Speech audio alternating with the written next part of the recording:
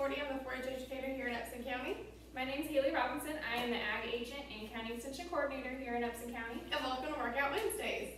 So today we're going to do a workout based off of stuff you might be able to find at home. We are going to use paper plates. So you see we've got some on our feet. We have some to use for our hands. With this workout, we've decided to go barefoot just so our shoes don't slide off these plates. But you can do it either way. Um, we're going to do a couple different things. A lot of it's going to be down on the ground. Um, make sure that before you do this workout that you're very safe with it. If you think you're going to slide too much or pull too much, then just avoid doing that workout altogether. We'll see you next